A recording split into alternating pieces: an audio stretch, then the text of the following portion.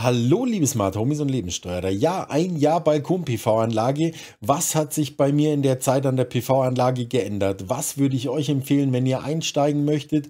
Und was ist mein generelles Fazit nach einem Jahr Balkon-PV? Alle diese Fragen beantworte ich euch heute in diesem Video.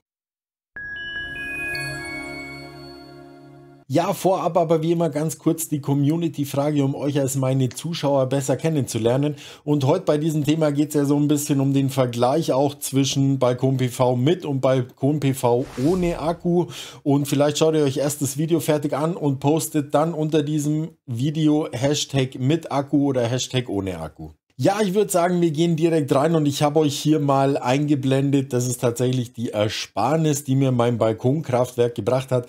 Denn alle anderen Werte wurden durch Umstellung der Anlage und so weiter und so fort ab und zu ein bisschen durcheinander geworfen. Ein Wert, der immer stimmt und den ich immer korrekt habe, ist diese Ersparnis, die ich durch mein Balkonkraftwerk seit dem 22. August 23 habe und um das Jahr eben als Ganzes, als Jahr voll zu machen, um euch wirklich die, das Fazit aus einem Jahr zu zeigen, habe ich hier den Zeitraum 22. August bis 22. August gewählt. Ich weiß nicht genau, wann dieses Video kommt, aber hier haben wir tatsächlich genau 365 Tage als Zeitraum gewählt. Und ja, wie bin ich gestartet? Ich bin gestartet mit meiner Balkon-PV-Anlage mit zwei zwei 500 Watt Modulen und einem Wechselrichter, den ich am Anfang mit 600 Watt, später dann, als es erlaubt war, mit 800 Watt betrieben habe.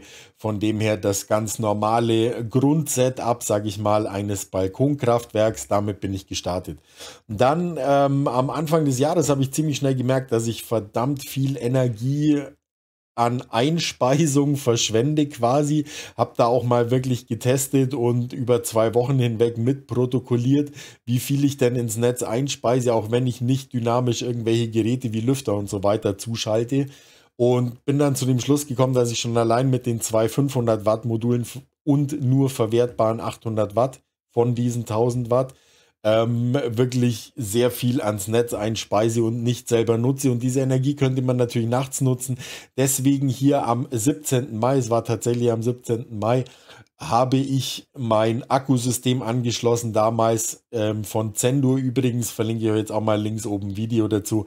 Ähm, Akku mit 1,9 Kilowattstunden und dem äh, PV Hub 2000 von Zendur und äh, ja, hier fällt aber tatsächlich, auch wenn es schon einen Mehrwert gebracht hat, fällt der in der Linie nicht so ganz auf. Ich würde auch sagen, ich zoome jetzt mal ein bisschen näher ran. Denn dann sehen wir vielleicht ein bisschen mehr. Ähm, gerade was auffällt, sind diese Abstufungen eben immer, also bevor das Ganze war, waren die Stufen länger. Das heißt, Natürlich in der Nacht habe ich immer keine Produktion, deswegen haben wir da relativ lange Stufen. Hier fällt dann schon auf, äh, zwischen dem Kauf quasi oder dem Anschließen des ersten Akkus und dem Anschließen von zwei zusätzlichen 500 Watt Modulen, was das gelbe hier ist, ähm, haben sich die schon ein bisschen verkürzt. Hier war leider eine Schlechtwetterphase, deswegen äh, nehmt es nicht so zu 100% genau, aber hier haben wir tatsächlich ein paar Tage schlechtes Wetter gehabt, deswegen ich habe hier zwar den die, die zusätzlichen Module angeschlossen, aber bei schlechtem Wetter bringen die natürlich nichts. Man sieht aber ganz klar, nach dieser Schlechtwetterphase ist das Ganze nochmal um eine ganze Ecke aufgestiegen, weil ich den Akku wirklich täglich zu 100% aufladen konnte, ohne Probleme. Ähm, habe dann auch festgestellt, ich könnte ohne Probleme noch einen zweiten Akku laden. Da sind wir dann hier beim grünen Pfeil. Da habe ich dann den zweiten Akku bekommen. Und hier sehen wir tatsächlich, dass immer wieder Phasen gibt, wo fast gar keine Stufen mehr drin sind. Also ich kann noch ein Stückchen näher rangehen. Und hier sehen wir ganz klar noch Stufen. Also der Akku hat mir nicht über die komplette Nacht gereicht. Und ab diesem grünen Punkt fällt auf einmal auf, wir haben immer wieder Phasen drin, auch wenn natürlich Schlechtwettertage und so weiter dabei sind. Aber wir haben immer wieder Phasen drin, wo fast keine Stufe mehr vorhanden ist oder die Stufe nicht mehr auffällt in dieser Größe.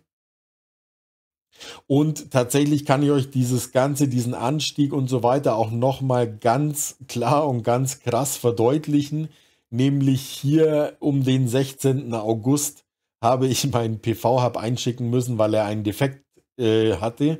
Und da seht ihr den spontanen und schnellen Abfall und wie schnell hier wieder oder wie viel hier wieder nachts quasi vom Netz verbraucht wurde. Also da an dieser Stelle hier genau fällt tatsächlich auf, was der Unterschied ist zwischen nur Module und Module mit Akku. Hier hatte ich zwar dann ähm, im Gegensatz zu dem Zeitpunkt hier vier Module, die bringen dir aber auch nichts, wenn du den Strom nicht verwerten kannst tagsüber. Von dem her sieht man hier schon ganz klar, diese große Modulanzahl bringt meines Erachtens nach auch wirklich nur was, wenn du sie mit einem Akku koppelst. Ansonsten bringt es dir gar nicht viel, wenn du vier Module hast. Äh, sieht man hier tatsächlich zwischen dieser Kurve und dieser Kurve oder auch verglichen mit dem August im letzten Jahr. Da ist kein großer Unterschied, obwohl ich hier zwei 500 Watt Module mehr angeschlossen habe. Genau. Gehen wir weiter und da sind wir jetzt bei dem Punkt, wir gehen noch einmal schnell zurück. Wir sehen hier, wir haben circa 270 Euro Ersparnis über das komplette Jahr.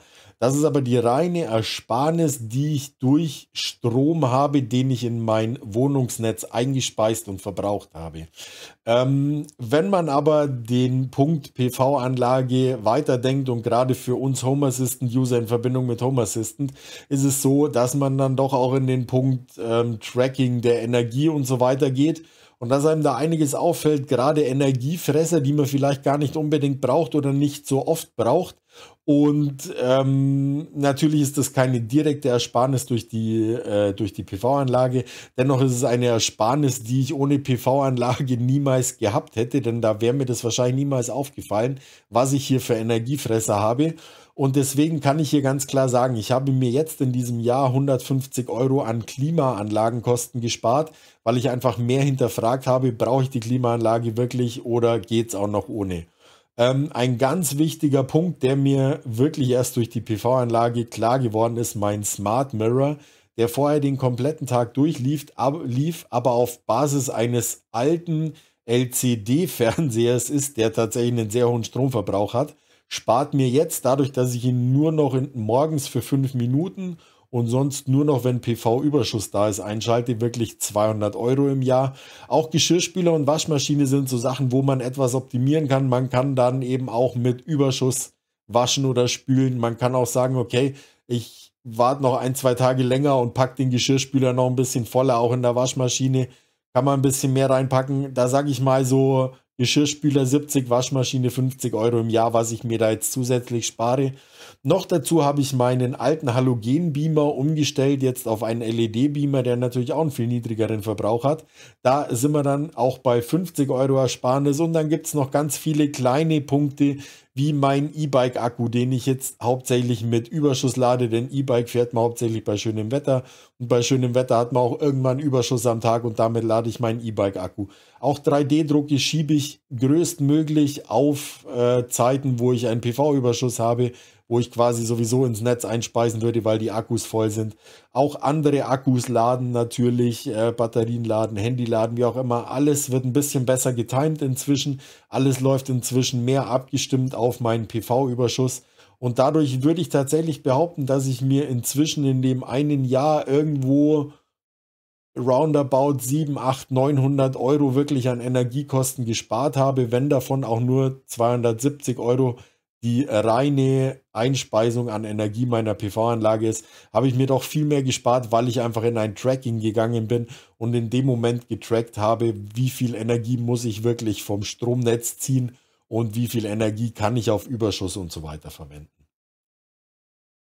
Ja, dann kommen wir jetzt auch schon zu einem Punkt, zu einem ganz wichtigen Punkt, der, glaube ich, vielen unter den Nägeln brennt, wenn Sie in die Welt der Balkon-PV-Anlage einsteigen mit, was sollten Sie starten? Und ich gehe hier jetzt auf der ersten Seite, auf der nächsten Seite kommen dann noch gewisse Sonderfälle. Hier gehe ich darauf ein, dass auch tagsüber wirklich ein gewisser Verbrauch da ist, dass also tagsüber auch jemand zu Hause ist. Das ist jetzt diese erste Seite und da würde ich euch sagen, je nach Budget würde ich euch sagen, wenn ihr nur ein ganz kleines Budget habt, ähm, immer noch besser als gar nichts, einfach eine 800 Watt Balkon-PV-Anlage mit mindestens 1000 Watt Modulleistung würde ich am Anfang definitiv empfehlen. Und damit könnt ihr gerade in den Sommermonaten schon sehr viel an Strom sparen. Natürlich mehr, wenn ihr tagsüber mehr verbraucht. Ähm, bei mittlerem Budget, und das ist dann auch ganz praktisch, wenn ihr eben abends mehr verbraucht als tagsüber, würde ich euch schon empfehlen, da noch einen Akku mit 1,5 bis 2 Kilowattstunden, je nachdem, was der jeweilige Anbieter euch bietet, dazu zu kaufen, denn damit könnt ihr einfach auch die Nachtphase und die Abendphase überbrücken, was euch, habt ihr ja vorhin auch in dem, in dem Beispiel gesehen, doch einiges bringt. Ähm, wenn ihr ein großes Budget zur Verfügung habt, würde ich euch empfehlen, tatsächlich die Akkuleistung wirklich auf euren Nachtverbrauch anzupassen. Und da sind bei Balkon-PV-Anlagen irgendwo zwischen 1,5 und 10 kW inzwischen möglich, was ihr an Akkuleistung wirklich machen könnt. Und dann natürlich auch, wie gesagt, wenn ihr ein großes Budget zur Verfügung habt, natürlich 800 Watt PV mit 2000 Watt Modulleistung. Gar keine Frage. In dem Fall, damit ihr auch den Akku eben überhaupt voll bekommt, müsst ihr hier mindestens die 2000 Watt Modulleistung haben. Wobei ich ganz ehrlich sage, also ich bin jetzt bei meiner Südausrichtung mit 2000 Watt Modulleistung an dem Punkt, dass ich sage, einen dritten Akku, also so circa 6 Kilowattstunden würde ich vollbringen. Mehr wird schon schwierig. Da muss man natürlich auf Ausrichtung und alles achten, ob man überhaupt mehr als 6 Kilowattstunden, ob die wirklich Sinn machen, wenn man nur eine Balkon-PV-Anlage hat. Da macht es dann vielleicht Sinn, so ein System wie von Sendure, wo man auch bei günstigem Stromtarif, also bei Tibber oder so, wo man bei günstigem Strom auch den Akku zusätzlich noch vom Netz laden kann, würde hier vielleicht noch mit Sinn machen. Kommen wir jetzt aber zu bestimmten Sonderfällen, die ich auf keinen Fall bei der vorherigen Folie außer Acht lassen möchte. Denn wenn ihr tags nicht zu Hause seid, habt ihr wahrscheinlich einen Verbrauch, den ich nachts habe, irgendwo zwischen 100 und 200 Watt. Und da macht es nicht viel Sinn, wenn ihr 800 Watt einspeist, weil 600 Watt davon verschenkt ihr in Anführungsstrichen ans, ans E-Werk. Ähm, von dem her, da würde ich dann früher in Akkus investieren als in Leistung der PV-Anlage. Wenn ihr wisst, ich verbrauche meinen Strom hauptsächlich abends und nachts, dann auf jeden Fall frühzeitig auch bei kleinem Budget in den Akku investieren, damit ihr den produzierten Strom auch wirklich nutzen könnt. Ähm, wenn ihr das Ganze aufrüsten möchtet, würde ich euch bei einer Aufrüstung auf jeden Fall empfehlen, von Stufe 1 zu 2 auf jeden Fall erstmal ein Akku, bevor man die Module aufrüstet. Denn ihr habt vorhin gesehen, zwischen Akku und mehr Modulleistung war kein, ja, es war ein Unterschied, aber nicht so signifikant, sage ich jetzt mal. Ähm, bei Stufe 2 zu Stufe 3 da, wenn ihr quasi schon die 2000 Watt Modulleistung dann habt, würde ich euch auf jeden Fall, äh, wenn ihr die noch nicht habt, würde ich euch empfehlen, erstmal auf die 2000 Watt Modulleistung zu gehen. Und wenn ihr dann feststellt, dass ihr wieder ganz viel Überschuss habt, dann könnt ihr später immer noch einen Akku dazu kaufen. Die Zusatzakkus zu den Systemen, meistens ist die Grundanschaffung mit dem PV-Hub oder dem Grundgerät, was Hub und Wechselrichter äh, beinhaltet, relativ hoch, aber die Zusatzakkus kosten jetzt gar nicht so viel, erst recht, wenn man auf Angebote wartet. Deswegen und auch zusätzliche Module. Also ich habe für die zwei zusätzlichen 1000 Watt Module unter 300 Euro bezahlt. Geht inzwischen ohne Probleme. Also da startet erstmal und wenn ihr Geld auf der Seite habt, dann könnt ihr immer weiter investieren eben erstmal natürlich bei Stufe 1 zu 2 auf jeden Fall erstmal den Akku dazu kaufen. Bei Stufe 2 zu 3, bevor ihr den Akku erweitert, erstmal mehr Modulleistung und dann später eventuell noch die Akkuleistung erweitern. Das sind so meine Empfehlungen. Da auch ganz wichtig, das ist natürlich von Fall zu Fall unterschiedlich und ihr müsst immer auf euren speziellen Fall anpassen. Wenn ihr da spezielle Fragen habt, sehr, sehr gern schreibt sie mir unten in die Kommentare oder stellt sie mir auch auf Discord. Der Link zu Discord kommt immer im Abspann. Also da dürft ihr mir gerne, wenn ihr irgendwelche Spezialfälle noch habt, Fragen dazu stellen, die beantworte ich euch sehr gerne. Was aber ganz wichtig ist, es ist immer aus meiner persönlichen Sicht beantwortet. Das wird jetzt auch auf der nächsten Folie, nämlich auf der Folie, was ich euch an Hardware empfehle. Das ist tatsächlich meine persönliche Meinung aufgrund der Erfahrungen, die ich gemacht habe. Und es kann sehr gut sein, dass andere Menschen aufgrund ihrer Erfahrungen nicht dazu raten würden. Aber aufgrund meiner Erfahrungen muss ich euch sagen, wenn ihr startet, mit einer reinen PV-Anlage. Ich bin mit einem Day-Wechselrichter gestartet und später auf einen Heumiles umgestiegen und muss euch jetzt ganz ehrlich sagen, ich würde jetzt beim Start darauf achten, einen Heumiles-Wechselrichter zu haben und keinen Day. Ich weiß hier, die neueren Generationen der Day-Wechselrichter, die ein externes Relais direkt am Wechselrichter angebracht haben, sollen laut anderen Videorezensionen viel besser sein als der alte. Aber wie gesagt, meine persönliche Erfahrung, ich habe mit dem Heumiles bessere Erfahrungen gemacht als mit dem Day. Und hier habt ihr auch, was Home Assistant angeht, definitiv mit dem Heumiles mehr Möglichkeiten der Einstellungen und auch ähm, der, der Verwaltbarkeit als mit einem Day-Wechselrichter. Wenn ihr direkt mit einem Komplettsystem startet. Die gibt es sowohl von Enker als auch von Sendior, ein System, wo ihr keinen extra Wechselrichter und Hub mehr braucht, sondern wo alles ein All-in-One-Gerät ist. Ähm, generell, wenn ihr das Budget dafür habt, würde ich euch empfehlen, mit einem der beiden ähm, Komplettsystemen, All-in-One-Systemen zu starten. Äh, hier ganz wichtig, nicht das AIO von Sendio, sondern schon das mit den erweiterbaren Akkus und obendrauf der Hyper 2000. Aber wenn ihr neu einsteigt, würde ich euch generell inzwischen eher zum Enker-System raten, denn inzwischen kann man auch das Enker-System mit einem Shelly 3EM oder 3EM Pro steuern was zu der Zeit, als ich mir das Ganze gekauft habe, nicht ging. Deswegen habe ich mich damals für das Sendio-System entschieden. Hier kann ich zum Hyper 2000 noch nicht viel sagen. Eventuell bekomme ich da von Sendio in Zukunft einen zugeschickt. Ähm, wenn es da ein Video dazu gibt, werde ich das hier jetzt rechts oben verlinken. Solange da nichts verlinkt ist, habe ich noch nichts dazu. Und solange würde ich euch auch tatsächlich aus dem, was ich von meinen YouTube-Kollegen gehört habe, was ich aus anderen Rezensionen kenne, definitiv eher zum Anchor-System als zum Sendio-System wechseln, äh, also raten. Denn auch der Support ist, soweit ich gehört habe, bei Anchor etwas besser als bei Sendio. Ähm, Module, äh, die 500 Watt Module von Ja, die bei meiner ersten Balkon PV dabei waren und die ich auch zwei Stück nachgekauft habe, sind meines Erachtens nach Top-Module, funktionieren einwandfrei.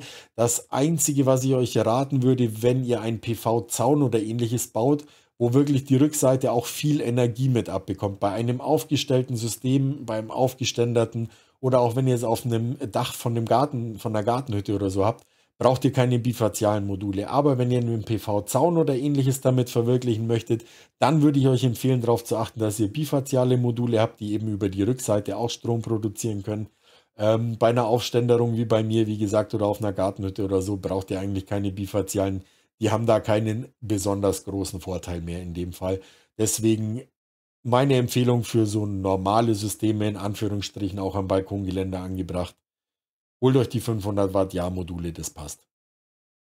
Sämtliches Zubehör wie Befestigung, Verlängerungskabel und so weiter und so fort ähm, kann ich euch natürlich nicht viel empfehlen. Da gibt es hunderttausende Anbieter. Was ich euch empfehlen kann, achtet darauf, dass es günstiges Zubehör, aber kein billiges ist.